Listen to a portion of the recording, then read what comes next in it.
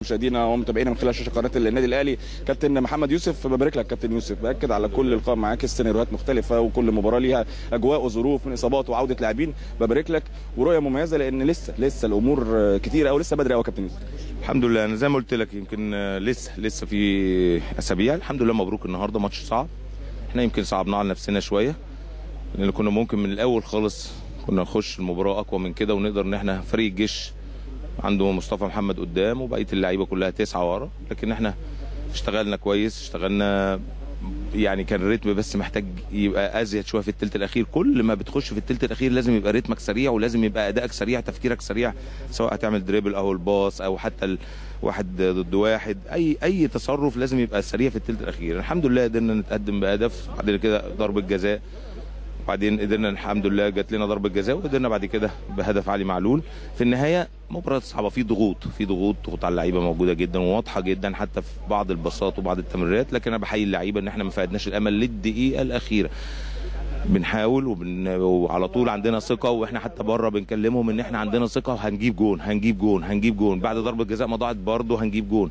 دي مهمة جدا مهمة جدا إن شخصية النادي الأهلي تظهر. رغم إن إحنا اضعنا وممكن كان يهيئ لبعض الناس إن خلاص قفلت مع النادي الأهلي النهارده لكن إحنا لآخر آه، صفارة عندنا أمل. الحمد لله بحييهم النهارده والحمد لله مهم جدا ثلاث نقاط زي ما بقول نضيفهم. هننسى المباراة ونخش على النجوم إن شاء الله. لكن أنا بقول من دلوقتي متوقع إن السيناريو بتاع النهارده يبقى موجود يوم النجوم. ولذلك أنا بقول للاعيبتنا من دلوقتي إن إحنا لازم نحضر نفسنا. مفيش مباراة سهلة. إحنا خدنا النهارده ثلاث نقط ولعبنا قدام الزمالك بثلاث نقط قدام أي نادي بنلعبه بثلاث نقط.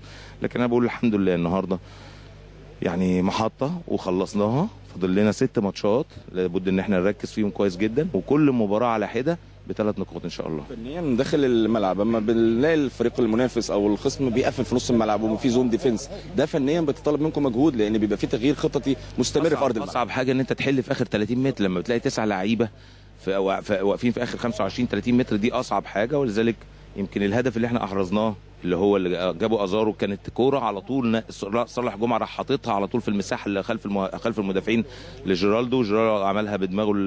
ل... لأزارو.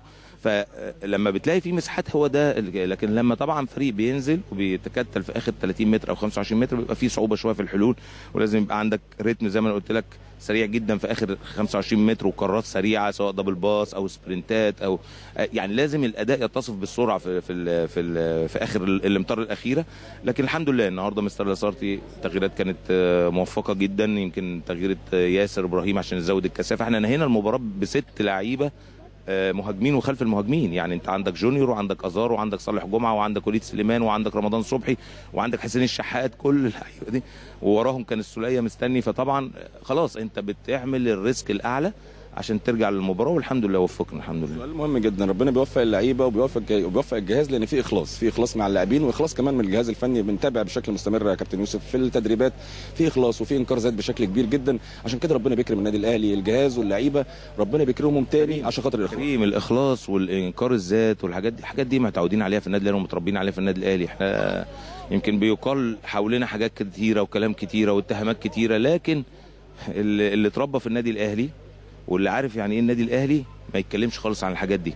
إحنا جهاز النادي الاهلي اي حد فيه بيموت نفسه عشان النادي الاهلي يرفع الدرع في الأسبوع ال 34 أو ال 33 زي ما ربنا يكرمنا ان شاء الله.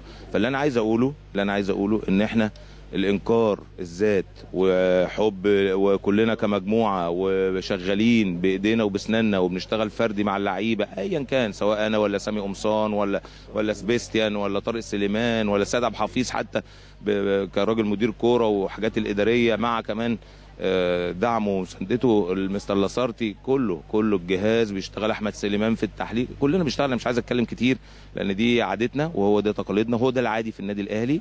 إن إحنا بنشتغل لهدف واحد بس إن النادي الأهلي اسمه يترفع فوق ويكسب بطولات فما عندناش أي حسابات أخرى.